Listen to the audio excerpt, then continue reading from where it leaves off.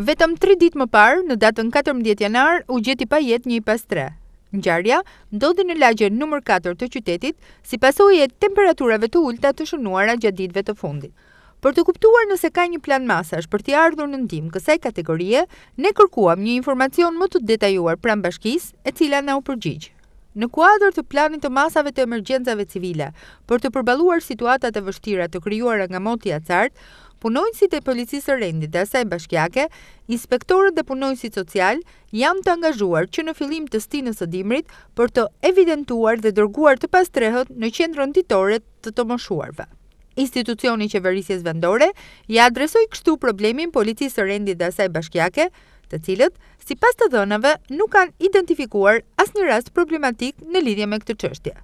Për të ndërtuar një panoramë të plotë të situatës, ne iu drejtuam kreut të Policisë Bashkiake, Vasip Çopa, i cili nënvizoi se në terren po zbatohet një plan masash i detajuar.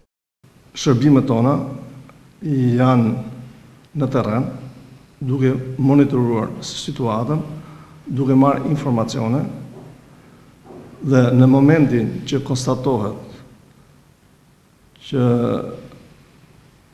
ky kontingjent kërkojnë ndihmë, Ne marrim masat tona duke i dërguar dhe kemi për detyrë duke i dërguar në qendrat sociale. Në qoftë se këto konstatohen me ndërlikime në gjendjen shëndetësore, Ne lajmërojmë shërbimet e urgjencës dhe i dërgojmë në spitalin rajonal të qytetit. Konkretisht, rasti më i fundit është shënuar mbrëmjen e së mërkurës.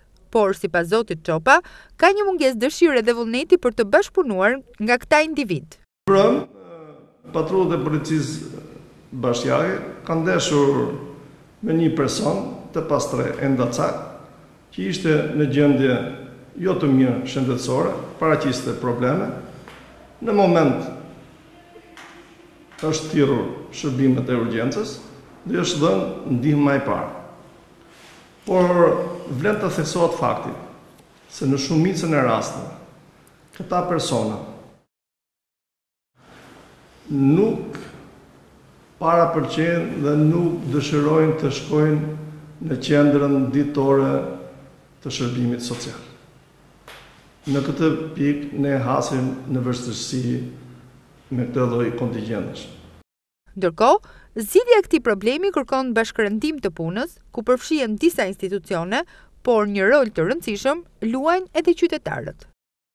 Është detyrë e Policisë Bashkiake, është detyrë e sektorëve të tjera të Bashkisë Durrës, është detyrë e Policisë Shtetit, është detyrë edhe e qytetarëve të Durrësit, që me humanizmin e tyre, kur konstatojnë kontigjent të tillë nëpër rrugë, nëpër hyrje apartamentesh, apo në vende të ndryshme, janë të lutur të telefonojnë sallën operative të Policisë Bashkiake, apo. shërbimet e urgjencës për t'i dhënë ndihmën këtij kontigjenti të pastrehë endacak. Evidentimi në terren dhe dhënia e ndihmës së parë për të pastrehët nga ana e Policisë Bashkiake do të vazhdojë edhe në ditët në vijim.